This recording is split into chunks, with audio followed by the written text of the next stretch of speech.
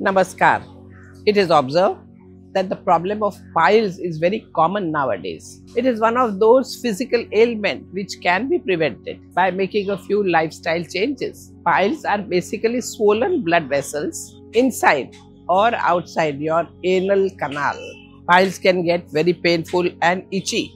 Generally, these are caused by prolonged sitting, unhealthy food, constipative food, and other factors. You only need to change few things to prevent them naturally. Today, I am going to tell you about the do's and don'ts for piles. First, let's talk about food. The important thing to remember here is that your stool should become soft enough to pass without causing much strain on your anal muscles. Fibrous food is best for you when it comes to preventing piles. Foods like banana, whole grain, sprouts, and unpeeled fruits, and definitely buttermilk. Sip on buttermilk when you have your lunch and include soups in your dinner. Cut down on salt. Too much salt can puff up your veins, leading to more trouble.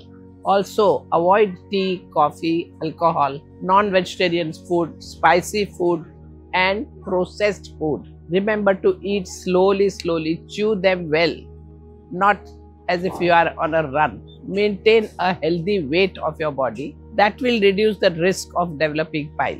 Extra weight puts more pressure on the veins of rectum, increasing the likelihood of piles. Hydration is also very, very important. Drink sufficient water and different liquids as per your body's need.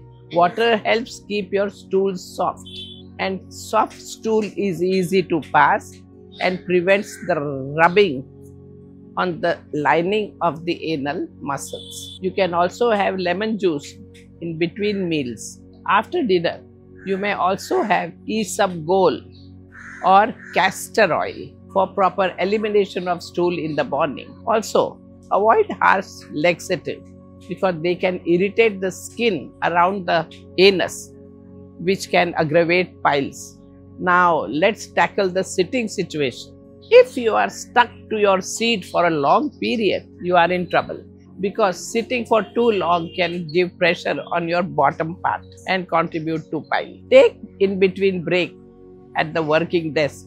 Stroll around a bit, maybe 10 minutes a few times a day. Go for a nice walk daily, maybe 30 minutes in a garden in a quiet park. Stay active and get moving. For activities, you can have swimming, you can definitely do some yoga asanas, you can play some sports. All these things are very good for you to maintain general good health. Regular exercise like walking, jogging, or yoga keeps your digestive system very healthy. I recommend some asanas, Hastapadasana, Chakrasana for keeping your digestive system healthy and preventing constipation. Inversion asanas like Viparit Karani and Sarvangasana can give good relief from irritation and pain. To keep your pelvic muscles in good condition, Ashwini Mudra can help you. In this mudra, you tighten and let go of your pelvic muscles few times. If you already have piles and they are bleeding very badly or you have pain in that area, then lifting weight, that too heavy weight could be totally avoided. Don't delay your nature's call. The moment the signal comes, you should immediately attend to your body.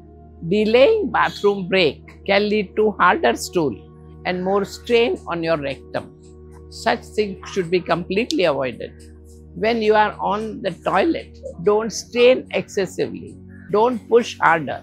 Try not to linger in bathroom for too long it should be in 2 minutes. At the rectum region, if it's painful, apply some coconut oil with your finger, first finger, little bit inside, and that would really help you. Do hip bath, that would also work wonders. So, this was about the physical aspect of piles. Now, when it comes to your mental aspect, do you know that stress and anxiety can also cause piles the best thing is to learn to let go too much attachment with anything outside in the material world. Make it a habit to feel grateful to all that you have in your life. Learn to surrender all the troubles, all the problems to the higher power.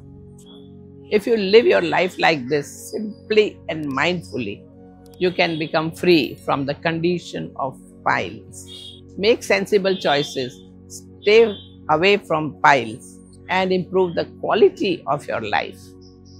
Namaskar.